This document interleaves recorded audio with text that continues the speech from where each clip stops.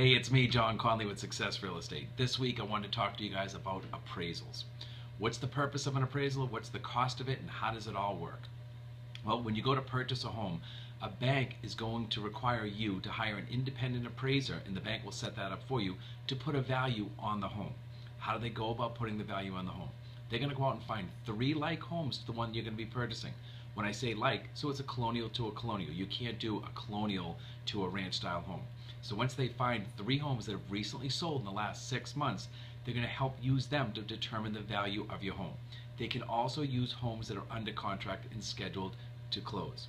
Now the cost of this is going to be somewhere between three to five hundred dollars um, in order to be able to have the appraisal done.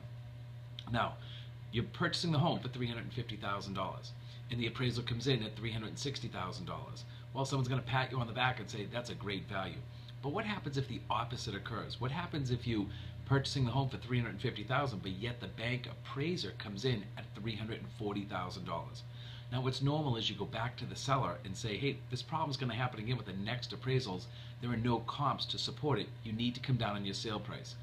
But as we know, we're in a growing real estate market with the values, and the seller may say, no, I'm unwilling to do that. What are you left to do, especially if you love the home?